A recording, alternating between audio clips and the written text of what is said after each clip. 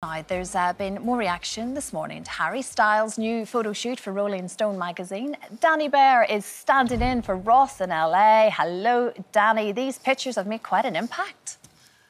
Hi, Christine. Yeah, I mean, Harry Styles, what a rock star. He is gracing a variety of gender fluid ensembles in this photo shoot for Rolling Stone.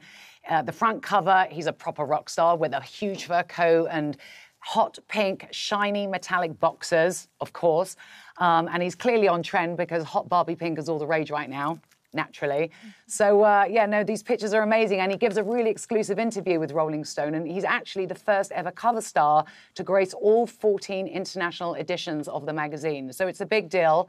Um, he also is in the article with uh, his current girlfriend, who's actress and director Olivia Wilde, and she gives a few quotes as well. But he really gives the fans something I think they're going to be excited to read. He, he, we really get a glimpse into his political views. We get a glimpse of to what's important to him, which is, you know, uh, his privacy, being kind, and of course, catching up on the latest season of Love Island priorities. Don't we all? um, he opens up, Dani, though, about his, his sexuality in the interview. Sorry, drop me. Uh, I couldn't hear you, Christine. Oh, sorry. sorry. No, not at all. No, he opens up about his sexuality in the interview. Yeah, no, he, he he touches on it. He goes about it in a roundabout way where he talks about it, but he doesn't really say a lot. Uh, you know, he is coming to terms with being comfortable about his sexuality and and the journey that he's on. Um, he's become very LA, and he's seeing his therapist every week, which is something you know he does touch on as well.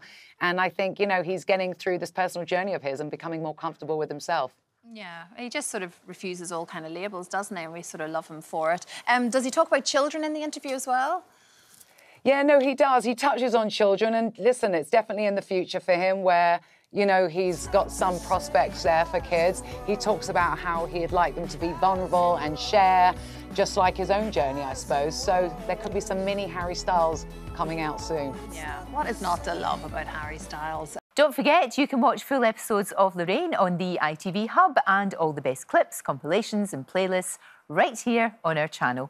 Just subscribe now and you'll never miss an upload. Click here to watch another video similar to this one, or click here to head to our channel's homepage to explore all of our exciting videos.